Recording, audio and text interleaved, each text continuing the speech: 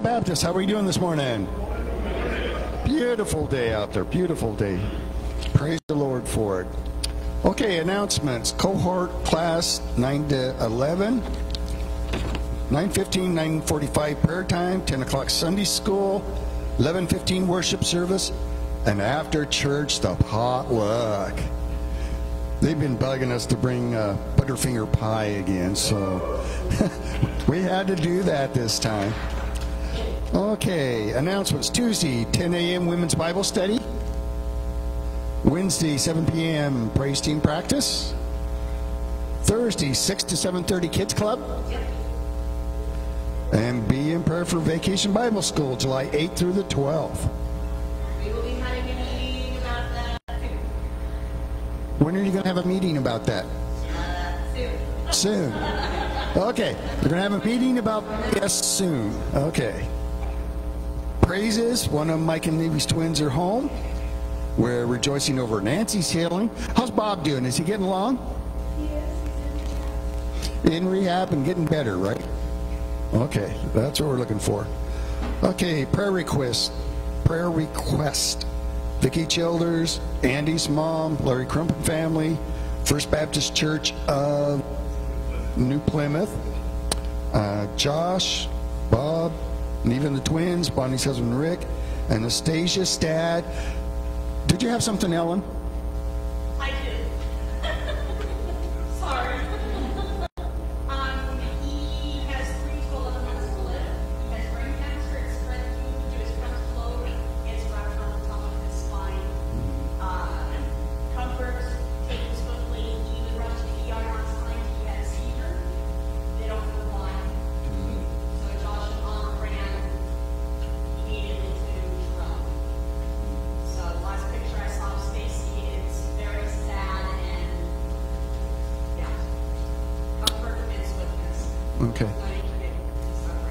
Yep, when it's terminal cancer like that, you just have to wait. Yeah. Give comfort where you can, and Diagnosed, and so it's, yeah, looks sad. okay.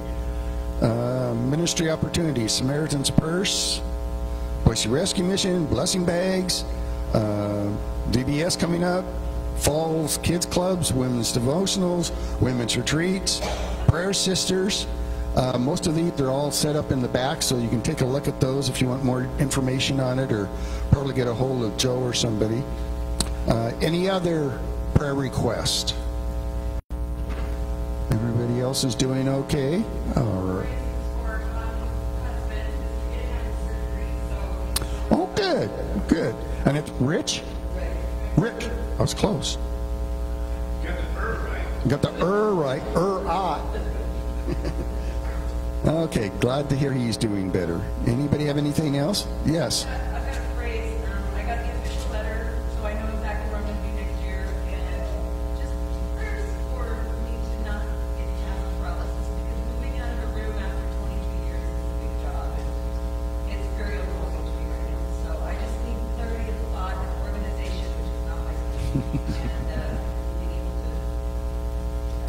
Least you know where you're going, Sarah. I know, stuff, and, and I have a lot of peace about it, they've been very welcoming and very, um, supportive about the whole process. Okay, sounds great. Anybody have anything else? Any anniversaries? Any anniversaries coming up? Any birthdays? Oh no, Diane, you're having another birthday? Oh, what's that? Oh, an anniversary. An adversary? George, I don't know what you've been doing, but I don't think she's happy about it.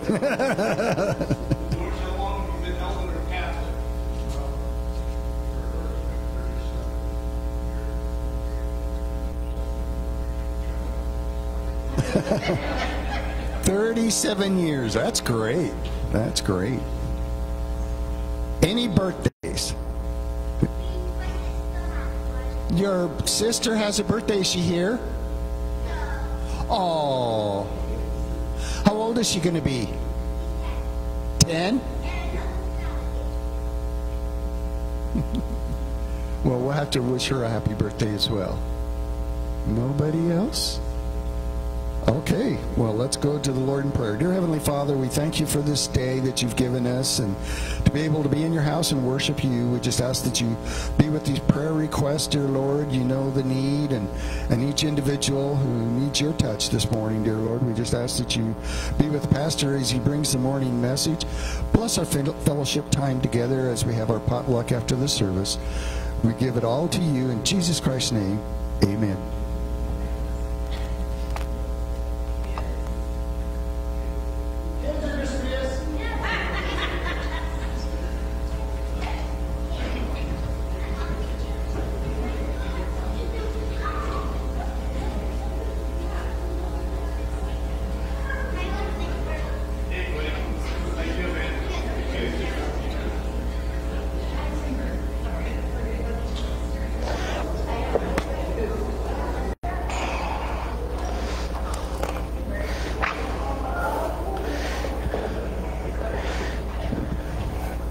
You know, Easton is such a cool kid.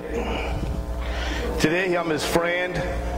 The first time that I really got to know him, he told me his dad was going to kill me. But I don't think that's the case today. So whatever, we we've moved past that.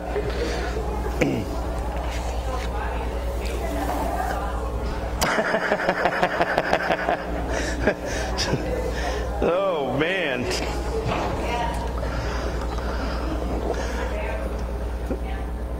he's definitely a man's man. There's not a doubt that little feller. You know, that little feller is is, is uh, one in the world that gives you hope that tomorrow might be a little better. It might be. We're going to be okay. There's going to be little fellers like him that will make sure that we're all okay. Um, we didn't put it in the bulletin, but thanks for everybody who come out and helped strip this other part of the roof. We got some of the shingles up there, so we're going to start getting those on. And so uh, I'm not sure when, but soon. I was worried that the rain and wind, but shoot, they rained out really hard and the wind blew like crazy the other day, and that, and that paper stayed up there pretty good. So I don't know, maybe six months, a year, I don't know. We'll, we'll get it. No sense in rushing something like this. Hope everybody had a good week. Want to welcome our, our friends from uh, from Atlanta. Generally, I didn't think that there was enough oxygen down here for them. But here they are. And here they're breathing. So it's good to see you guys. I hope that you can make yourselves at home. Is, you know, here just like we do when we go go to Atlanta. Um, let's see, I've just got done finishing up with the Rich Relationship series, and uh, I really, I really I don't know, I just really hope that after all this time and whatever, that the things that we do in our day to day life and, um, and in our relationships and all this stuff is that um, it, it's all building on one of these things. So we can have that rich relationship with God that I believe that we're all desperately really wanting and seeking. Even if we don't know that's what we want, that it is what we want. And so what, what does that mean is that, you know, we, uh, to me what it means is that if my activities, if, if what I'm doing is not falling in one of these three categories, then I have to weigh out, is it really worth doing? Does that make sense? And that's just not in church life, but that's in all of life. Um, because it, we can, we can truly have a rich relationship with God. There is so much freedom in being a born again child of the God Most High. And so many people miss that. And I think they miss it because they don't understand that God wants a relationship with us. That's what He desires. He, he's not a God that just, you know, as Steve Brown said, and I shared this last week, God's not mad at us. So many times we walk around like we have a God who's mad all the time, and He's not. He might grin and chuckle to himself and roll his eyes, but he's not mad at us. He loves us. and uh, he forgives us. He knows because of the, the life that Jesus had on earth. He knows what we're going through. And so and he shows compassion and mercy and uh, forgiveness. And uh, I don't know. I just think that uh, for me, if I'm not doing things that are going to enhance that relationship with God, then I need to figure out something else to do. You know, so hey, if you guys can hang, just bear with me a little bit this morning. I want to talk about another topic that so many Christians have not developed. And that's really what this is. Um, I've talked to some people who go, oh no, man, I, I gave my heart to Jesus and boof, man, it all was magically changed. And, and I, praise God for them. Praise God for you if that happened to you. Not my experience. Okay, it's not my experience. It was a it's a process. It's a process. Now my salvation was instant, but but my heart change, all of the things that are good about God-fearing people, it, it's a process because I have so much of the world in me yet. I have so much of me in me yet that it has taken a long time just to me it seemed like just to get a little a little ahead of time a little bit ahead but you know what i want to tell you what i want to talk about today is, is, is by far the most important weapon that every born again child of god has at their disposal okay? Bar none. Don't matter. Not not the devil not man not beast, nothing can keep us from praying to our God. You know, Dr. Gregory Frizzell wrote, and I think this here is pretty, pretty important to understand that. And he wrote a book called How to Develop a Powerful Prayer Life. You know, he states in that book that we must view our daily prayer time as a relationship with God and not some legalistic duty or discipline or something that we do so we can check it off the list. This is, it's more than that. Um, it's more than that. I really like Joellen had a speaker come to the church years ago, and uh, and, and, she, and she spoke to the ladies, and she had a saying that it's always stuck with me, and I think she's made a lot of, speaks to a lot of, having her here was a privilege if I remember right, because she, she usually speaks to a whole lot more than 12 people. And, uh, but she did, she came here that, that night.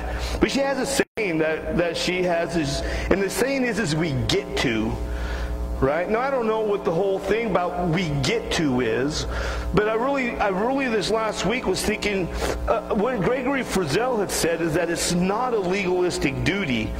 And Joan, what's her name? Joan Endicott. Joan Endicott says, hey, we get to. We need to look at our prayer time and the time that we spend with the Lord as something that we get to do.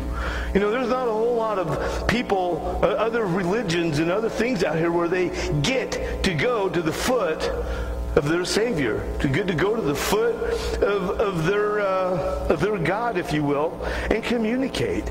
God desires in His heart that we talk to Him um, and I'm telling you, prayer is one of the first things in having a rich relationship with God. It's like the baby steps of baby steps.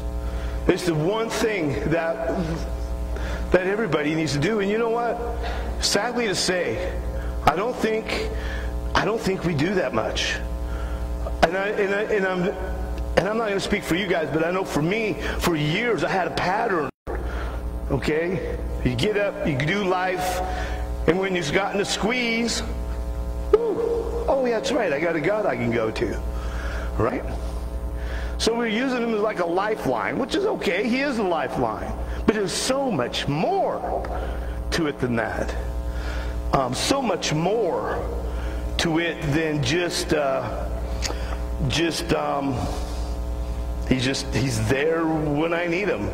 In this book, How to Develop a Powerful Prayer Life, Gregory Frizzell lays out a pretty prayer patterns, he calls them. They're prayer patterns. And, and, uh, and, um, yeah. every one of the patterns develops the next and develops the next. And, uh, and at the end of the deal, day, if you follow his pattern, you truly have a rich prayer life. You have truly developed a prayer life that covers all the bases. You know, like the first base he talks about, and I'm going to talk about today, is thanksgiving. Thanksgiving is being, being having gratitude is what I'm calling it today. But being thankful is huge.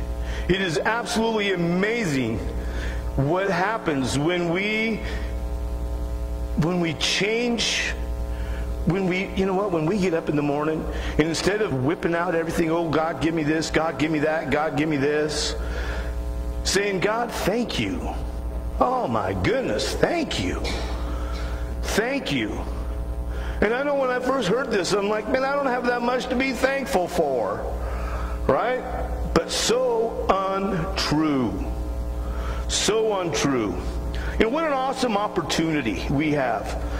Uh, what an awesome God we serve who lets us do that, who lets us come to Him. And it doesn't matter how much money you have, it doesn't matter how much money you don't have. Listen, He wants to hear from you. Okay? Doesn't matter whether you've got three, three months. Where's that little baby at? There was a little baby in here that's got like a hundred years right? It don't matter. He wants to hear from us. And um, again, as it would seem to work out, wasn't my intention, but it just seemed to. Um, prayer is definitely one of the key components to having a rich relationship with God. Prayer is as simple as talking to God. I'm not sure about the right or wrong ways to do it, other than I just want to point these few things out that I've gleaned from the Bible um, is number one is our motive. Why are we pray? See, when I would pray on Thursday night after being put in jail on Wednesday night, every Wednesday night or every Thursday you wake up praying, okay, my motive was wrong. Because as soon as he let me out, guess what? I kind of forgot about him until next Thursday. Okay, because I needed something. Our motives need to be right. You know, in James 4 3, he says, You ask and you don't receive because you ask with wrong motives, so that you may spend it on your pleasures. Therefore, as an early Christian, I'm praying that the Lord would give me like a billion dollars so I could go buy my own island and just be away from everybody. Um, I'm pretty sure that was one of those days that he either rolled his eyes or just chuckled because it, it, had nothing to do. Me getting a billion dollars had nothing to do except for me, man. I'm just going to be honest with you. You guys will be fine, you know. Listen, we should not stand and have long, lengthy prayers as the other one on the street corners for everybody to see how holy you are. I mean, listen, we've all met these people. We've all met him. Matthew 6 5 says, Whenever you pray, you must not be like the hypocrites, because they love to pray standing in the synagogues and on the street corners to be seen by people. Truly, I tell you, they have their reward. If you want, if, if you make a big deal about everybody hearing and seeing, and you have all the right words, what I'm gathering from this is that your reward when we all clap, when we all say amen? That's a wrong motive. That's a wrong heart to go before the Lord. Um, in 1 Thessalonians 5.17, he tells us to pray consistently. And some of your translations will say pray without ceasing. So it's something that we should be doing all the time with the right motive all the time. There's nothing too big, too small, too little, too unimportant that the God doesn't want to hear from us. Okay? The wife might be bringing a bunch of stuff to me, and I'm like, yes, dear, yes, dear, yes, dear. But when she takes that stuff to the Lord, He's, oh, wow, Joellen. Okay? Nothing is too small or too big, too unimportant or too important to take to Him. Listen, either way, to develop a rich relationship with God, we are encouraged to develop a powerful prayer life. I might want to throw in the mix here because I, because I can and I do this all the time.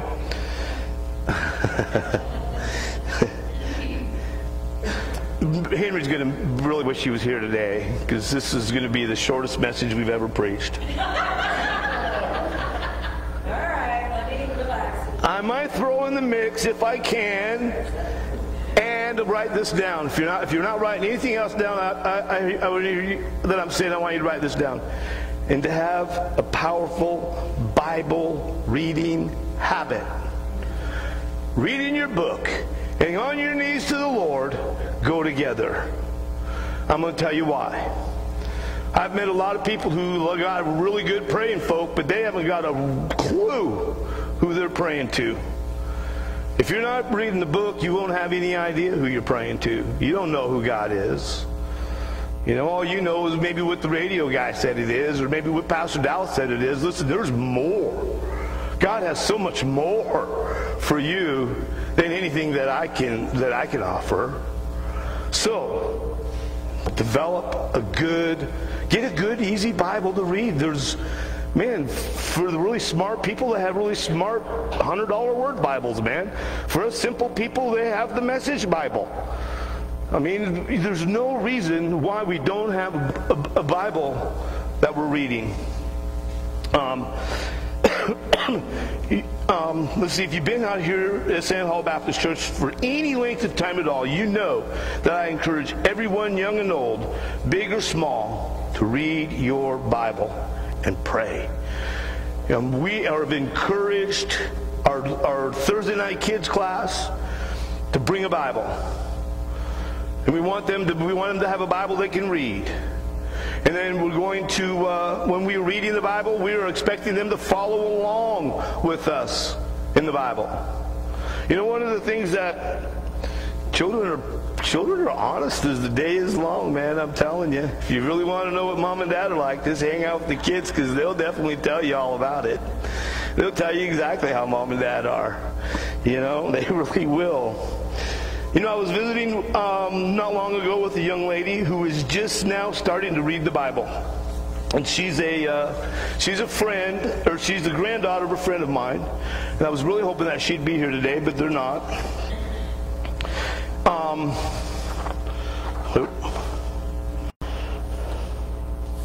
oh, well, that worked out not very well.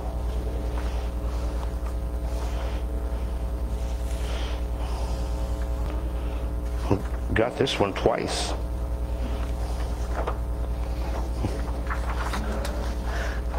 I knew I didn't have 19 pages of a message. Dang it. Anyways, this young lady started reading the Bible and she texted me the other day and she says, I got lots of questions about it. She's kind of excited about it. Uh, she told me that, that sometimes she gets really confused, though, about what she's reading. And I wish I had been quicker to the punch than I was because I was like, oh, that's, that's too bad. I should have suggested this um, that she first pray before and after each reading. What kind of pastor doesn't tell somebody who's just learning the how to how to read the Bible? Well, why don't you pray? Well, I did. I just wish I'd been a bit, quick, bit quicker. Um, you know what? We pray and ask God to show us what it is that um, show us is that what we are reading and why should I care about it? We should ask the Lord for that. Lord, I'm, I'm reading this stuff. I'm reading John 1. What's the so what? Um, listen, I know that's how it all started way back for me. Is I would pray, read, and pray. Application came later. For me, anyhow, it did. You know, there's no sense in rushing things. I always thought baby steps were the best way for me to, to, to get there. But pray, read, and pray. If we can get into that habit, I think you will be absolutely amazed what the Lord will tell you, what the Lord has to show you. The so whats are there everywhere. They're in the Bible. If you're in the Old Testament, the big so what's that you'll find, they're in the New Testament. they're there. It, it all matters. It all, it's all, it all matters.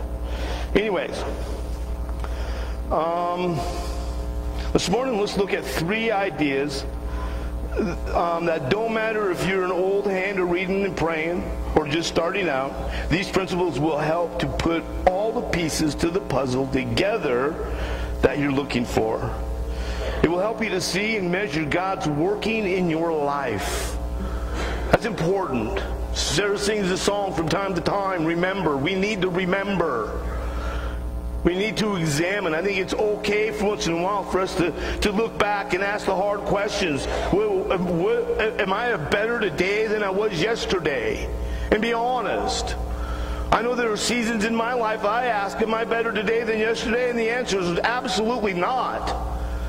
No. I keep thinking of Troy Winch, who kept saying, I thought you'd be better by now, but you're not. You're worse. But then there are other times when I can say clearly, Yeah. Yes, I've walked through this storm. Not the first storm I've walked through, but I've walked through this storm a lot better than maybe the last storm I walked through. That's how we want to measure this, this out. Um, not does it hurt or not hurt, this or that, because life hurts. Life is hard. It really is. Um, so, anyway, the first thing I want to talk about is well, I'm going to talk about three things. I'm going to talk about guidance, gratitude, wisdom, and guidance. And the first one I want to talk to is gratitude. 1 Thessalonians 5:18 says, "Give thanks in everything, for this is God's will for you in Christ Jesus." Um, so often, folks come into my office wanting to know what God's will is for their lives. What is God's will for my life? What is God's will for my life? I want to get in the meat. I got to figure this out. As a matter of fact, the library shelves are full of good books written on the subject.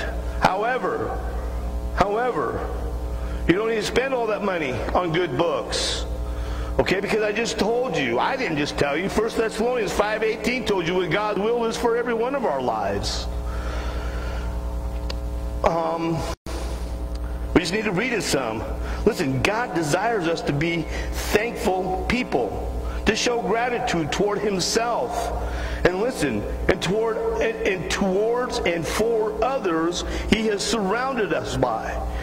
Be thankful. I, I, think of the people who the Lord has me surrounded by today, and it's easy for me to be thankful because I'm not going to say none of them.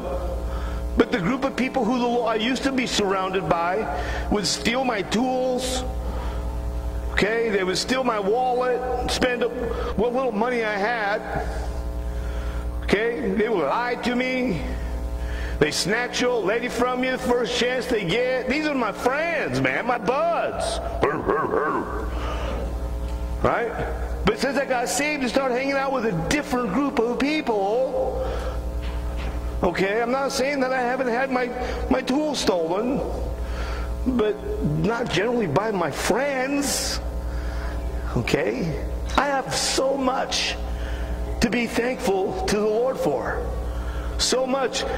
Some people say, well, man, I, have told you guys this a bunch of times. It just fits this topic so well. In the First Baptist Church, after I first got saved and started going to church, they'd have Sunday night, Sunday night prayer meetings which I think are important. Joellen just had a baby, so she didn't get to go. She stayed home with the kids. I went on Sunday night. And uh, this one Sunday night, uh, um, man, there had to be 40 people in the church on a Sunday night. I'm like, wow, that's in New Plymouth, Idaho. My goodness. And they had a uh, prayer meeting. Okay, let's bring all our wants and hurts and stuff to God. How about if we do that? Woo-hoo. Everybody's there. It was three hours long. It was a great day. The pastor's so excited. He said, well, good. Next week, come by, come back, and we're going to talk about um, and pray a, a, prayer of thanksgiving. I think there was 10 people. Okay, the, the, the thing lasted for 30 minutes. People could not spend any time saying, ooh, I am thankful for. Thank you, God, for. Isn't it, you know what? And even as a brand new young believer, it kind of broke my heart. Like, oh my gosh. They're right. What in the world do I got to be thankful for? I have unruly kids. My wife barely likes me. You know, I have mean bosses. What in the world do we have to be thankful for? I could have bought into that really easy, right? But I'm going to tell you one thing. and This was right about the time that we were watching the war on TV. I'm thinking, you know what I can be thankful for? Is that I live in the United States of America, baby. We live here. We look, did you notice that uh, we have all our doors open? At least we had that one open, so maybe someone got cold and shut it. Lisa, did you get cold? We live in the United States of America. I, I, I might, not everybody might agree with what we do or say, but nobody's here trying to stop me from doing and saying whatever we want. We can worship God any way we want. I'm going to tell you right now. I've been watching this deal called Jesus, the Game Changer. There's three seasons of this. And it's about, listen, there are a lot of places in this world who do not even come close to having the luxury that we have. There are places in the world that do what we are right now. They see this many cars out in the parking lot. The law's coming over to visit for sure. Okay? It's not allowed. They don't want us doing it. Listen, I live in the United States of America. If I get mad at somebody I'm working for, I can quit. I can quit. Not every place that you live can you do that. They give you a job and that's what you're going to do. I have lots to be thankful for, and so do you. I have a wife who stuck with me for 128 years almost.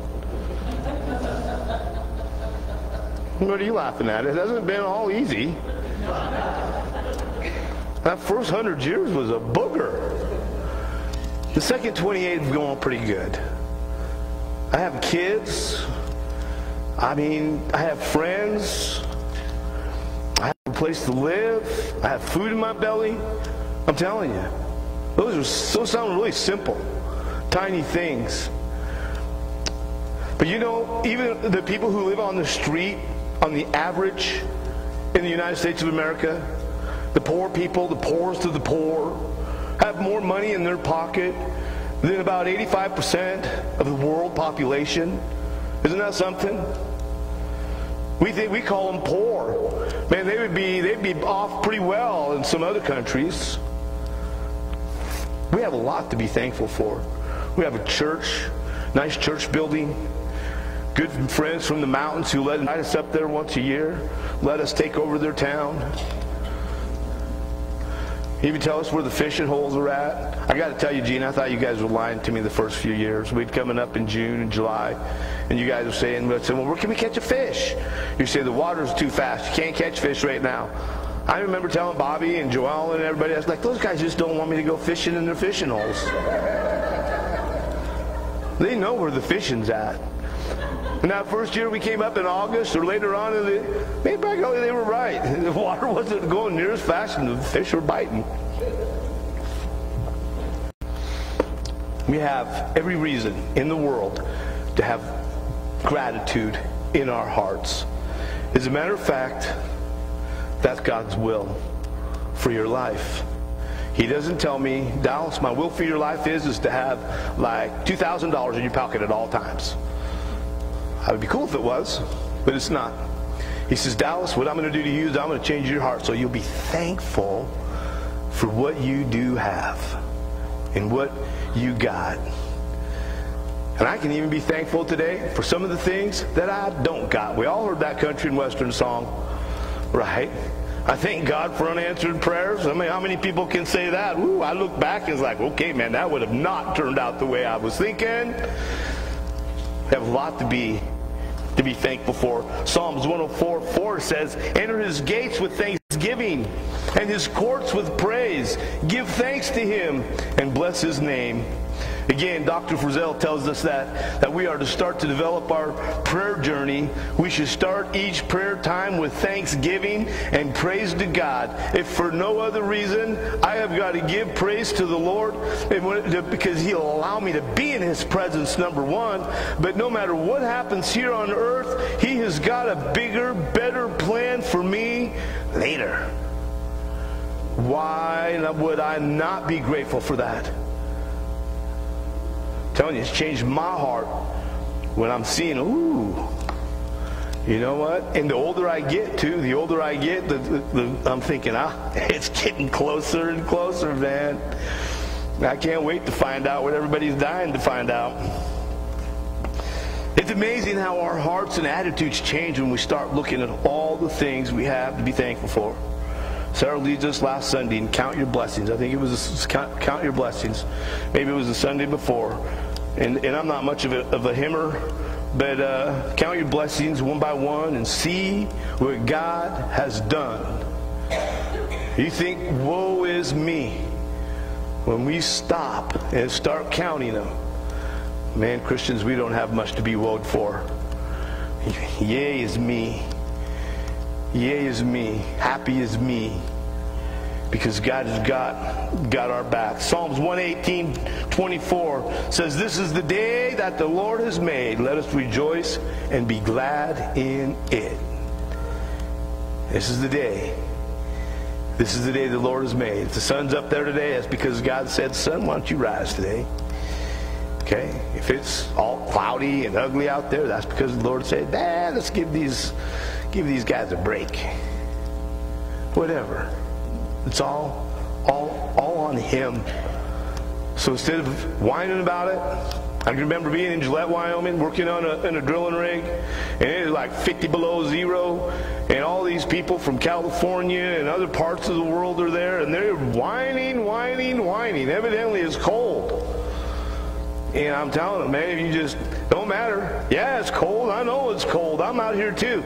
But uh, let's just do what we got to do. We get we're going to have to do what we have to do, whether it's cold or whether it's just right. So let's just do what we have to do. Just do what we have to do. Be glad that we got a job. Some have asked, and this preacher was one of them long ago, what do I have to be thankful for? My life's a mess. I struggle with my job. I struggle in my, my relationships. Is that, um, is it that I have to be grateful for? What do I have to be grateful for? Um, there's a little prayer I want to share. It says, I stand before you this morning that if you, if you just start talking with God, and thanking Him for the privilege to live in this country, in this state, in this community. Thank Him for the friends that you do have. Praise, praise Him for the job you got. Many, many people in this world have no jobs, no real friends, and real, and really not even an opportunity to get any. If we meditate on the things that we have and, and don't have, I believe that you will find the same thing that I have found. Plenty. Plenty that's not the prayer. Evidently, I deleted it when I mixed it all the rest of it up. The second thing that I think that we can be going to the throne for, that we can be going to our God for in prayer, is wisdom. Is wisdom. James 1 5 says, If any of you lacks wisdom, let him ask God, who gives generously to all without reproach, and it will be given to him. Listen, I think that there's a lot of Christians that I know who need to be getting that and asking the Lord for wisdom. Okay? Because it don't appear that a whole bunch of have much. We need to be asking the Lord, Lord, for wisdom. The Bible talks about foolish wisdom that, that many men and women are running after. The wisdom of this world.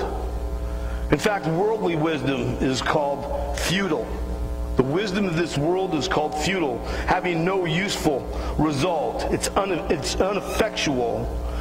The wisdom of God is what we should desire. What is God's idea of how this, um, this or that should work out? We see this played out in, in um, the cultures, wars that are going on in every developing country. For sure, in our country. Um, world's wisdom says same-sex marriage is okay. God wisdom tells us that marriage is between a man and a woman.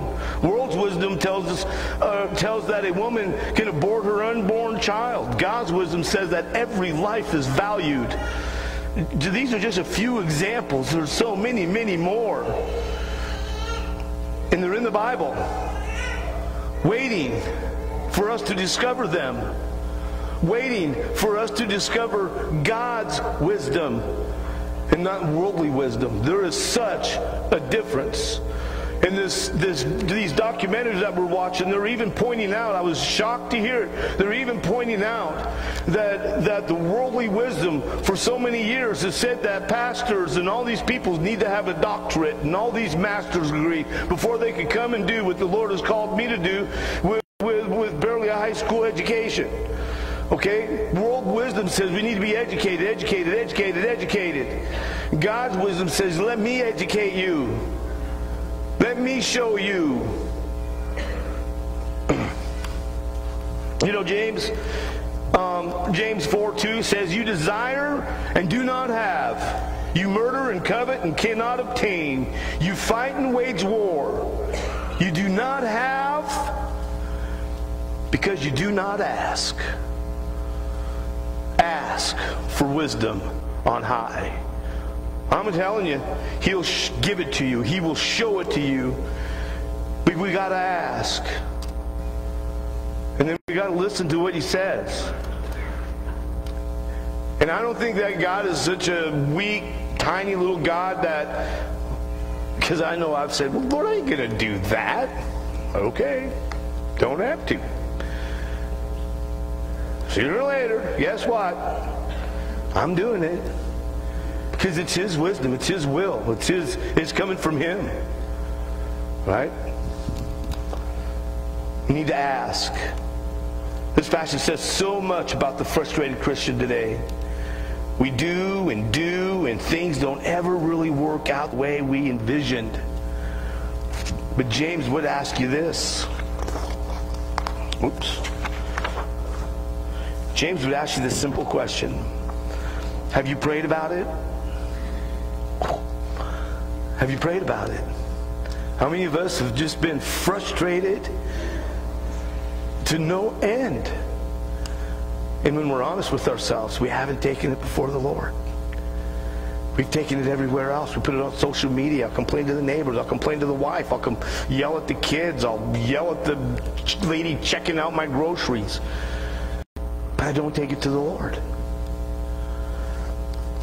Simple question. You have not. Most likely because we've asked not. Hmm. That's the thing about being a Christian that so many have missed. They think they know better than God. So if they do pray, it's more like they are asking God to bless their idea, to bless their wisdom or bless their plans, so to speak, instead of seeking God's plans in God's wisdom. James 3:17 tells us, "But the wisdom from above is first pure, then peaceable, gentle, open to reason, full of mercy and good fruits, impartial and sincere."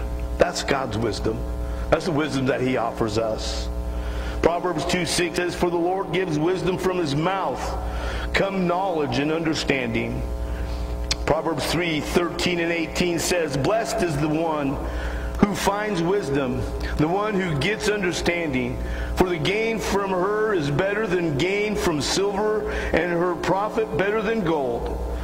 She is more precious than jewels. Not you. Well, anyway and nothing you desire can compare to her.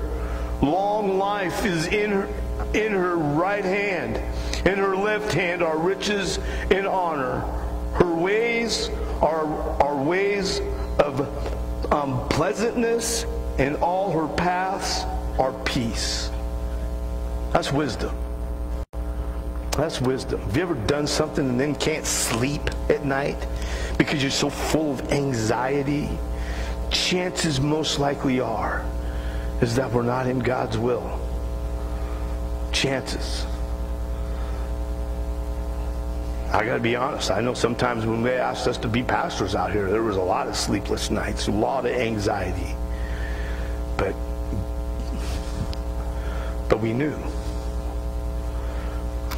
That's when we first realized just what kind of humor the Lord really has. Here's a prayer I didn't, um, as an example, that I didn't delete. Um, this is a prayer that says, In the journey of life, I often find myself at a crossroads, faced with important decisions that shape my path. I humbly come before you, seeking your divine guidance and wisdom to make choices that align with your will. Those are the kind of prayers that I think God hears, that we should be asking. And then we should be listening. And don't be afraid of what we hear. He'll show you. He'll, he'll let you know. He'll talk to you. I know so many people that the Lord is trying to talk to. We ask Him for this, and He tells us, and we go, yeah, not that. Yeah, not that. But the more we pray, the more we seek, the more we ask, the more He comes to this. It's the same thing. Maybe it's that. Being, even being a pastor at Sand Hollow Baptist Church, we wanted to go to the soup kitchen. And the Lord said, No. Soup kitchen, no. Soup kitchen, no. Aha! Keep asking. Sand Hollow.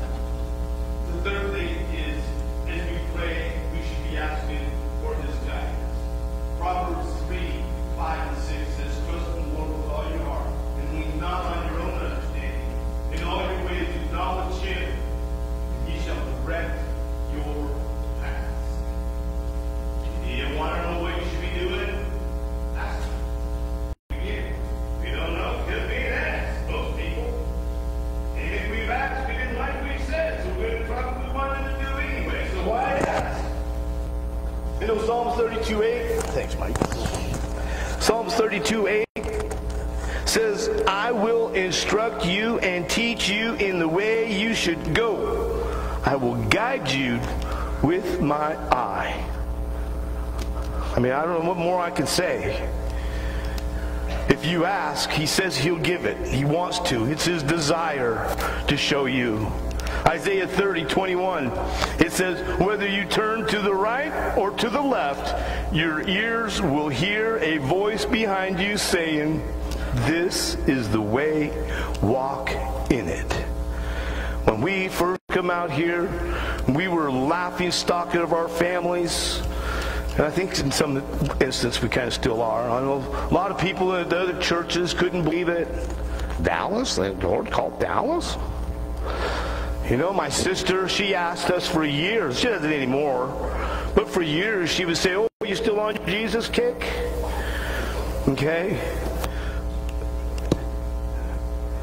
But, but listen, we kept hearing the Lord say, Yeah, you're on your Jesus kick, buddy.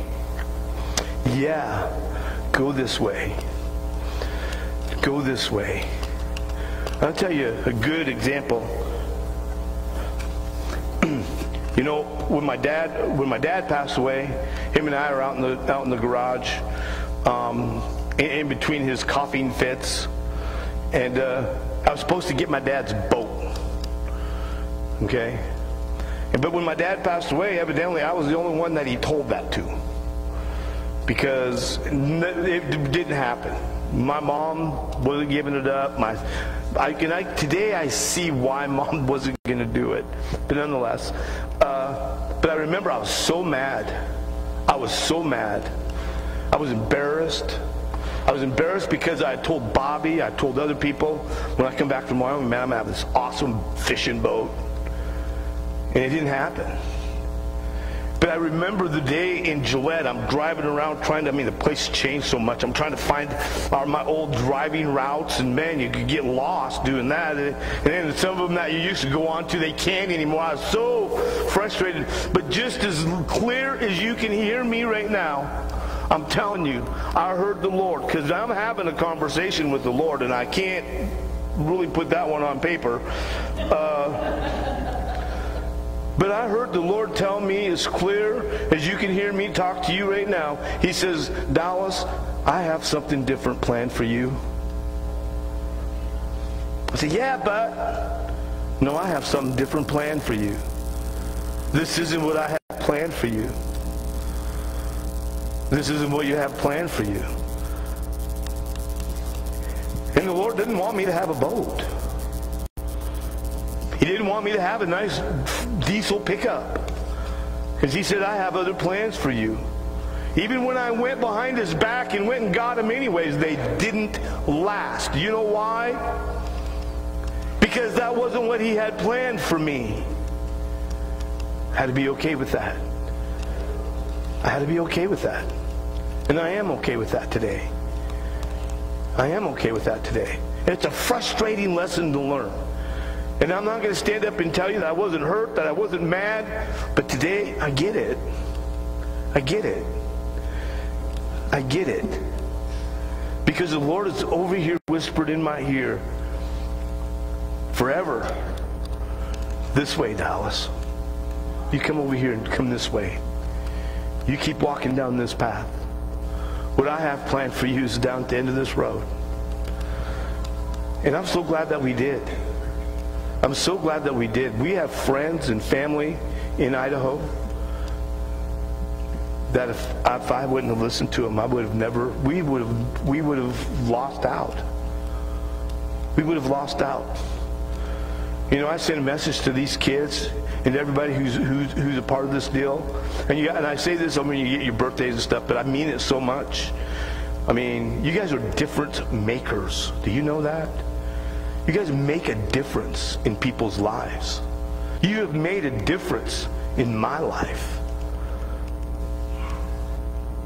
And that's because the Lord said, Dallas, come this way. I haven't got that plan for you, man. I got something better planned for you. Now, I still go fishing. Okay? I got a little dinghy. And it seems to be okay that I can have that. However, I mean, I about killed us the other day. This is probably why the Lord is telling me you don't want, you, you, you're not going to have a boat, dude, because you're not responsible enough with one. I mean, with a little John boat, I about killed my son and I. I mean, I couldn't believe it. With, with even motor on it. Anyway, ask the Lord for guidance. If you sincerely ask with the right motive, He'll show you. And it might not be what everybody else wants for your life. I've spent a season being frustrated because I see something in Ed that evidently Ed don't see in himself that the Lord don't want him to do. And I can be frustrated. No, I don't want you to do the Lord's will, Ed. I want you to do mine. But don't do mine. Listen to the Lord. No, he might he might use us. You know, he might use people in our lives to, to speak speak truth to us. But seek him. Seek him. If we can seek him, um, even if we have to come to the Lord and say, Lord, I want, I don't understand this gratitude thing. I want to be happy. I want to be thankful. I want to see you, all the goodness the Bible talks about you, I want to see it. He'll show you. You'll get it. But you got to take the first step for wisdom if you really want to know what, what, what God's desire is for our lives, and we should. Jesus Christ the, in the garden, right before he went to the cross, he's praying to the Lord, man, if there's another way, now is the time to show me. But listen, not my will, but your will. That's wisdom. That is pure wisdom. Is what is his will. He says that he will, he will, his plans aren't to hurt you. His plans aren't to, to squish you. His plans are to, to prosper you. His plans are to, to make to have you have you have a life of joy. To have a full, abundant life. Jesus says that he came that we may have life and have it abundantly. That might look different for each one of us in here, but each one of us, if, if we'll allow him, he will show you that abundant life. That's where wisdom comes from. And ask for guidance. Ask for guidance sincerely. We've been asking people for VBS help and Sunday school help. We get a lot of I'll pray about it. I want you to pray about it. You're trying to trick me. Trying to use my words against me here. I've asked a feller to be, to be praying about being a Sunday school teacher, and it's been like five years. He is deep in prayer.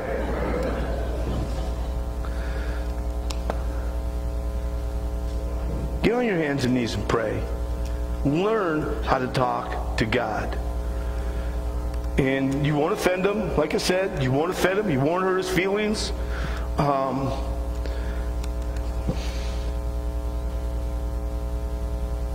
you might be surprised what happens. You might be surprised what he shows you. You might look back a year from today and say, oh my gosh, I did not go through the storms of life like I did the year before. Why? I'm telling you. It's because that means you become obedient to your Father in heaven. He wants our communication. He wants to talk to us. Makes sense, doesn't it? None of us in here can have any kind of relationship at all, any kind of friendship at all, if we're not talking to one another. We got to talk. And God's open 24 hours a day. I am generally open from 5:30 to 10. He is open 24 hours a day, and you can bring anything to Him. Tells us in, in, in 1 Peter, I believe it is, that we can cast our cares upon Him because He cares for you. And I think that makes us pretty fortunate people. Pretty fortunate people who has a God who says, Come to me just as you are, man. But bring it all. Bring it all. And I'll show you. I'll show you. And if you're here today and you haven't asked Jesus to come into your heart, I want to encourage you to do it. Don't know what to, the, the, we don't know what the afternoon's going to bring. I want to see everybody in this room in this building, on this block, in heaven with me one day. And there's only one way that's going to happen. Jesus says, I am the way, the truth, and the life. Nobody comes to the Father except through me. That's a bold statement, isn't it? It's a bold statement. And I'm going to hang on to that statement because I believe it's true. Bow your heads, please. Father God, thank you.